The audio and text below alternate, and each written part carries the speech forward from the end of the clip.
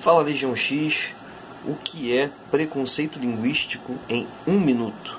Pessoal, preconceito linguístico né, da, deriva da, da ideia da que a gente já conversou aqui sobre norma padrão e sobre variação linguística. Né? Então, é, a partir dessas noções, a gente vai entender que não há um português correto, não há um português melhor do que outro. Aliás, não há uma língua né, melhor do que a outra. O que existe são normas que, às quais é atribuído mais prestígio do que a outras.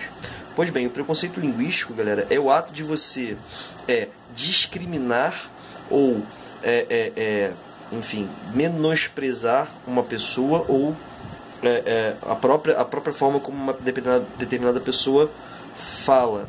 Isso está ligado a né, uma perspectiva etnocêntrica de visão de linguagem, que entende que há uma linguagem correta ligada a uma certa classe social e possivelmente também a uma certa raça e nacionalidade. Valeu!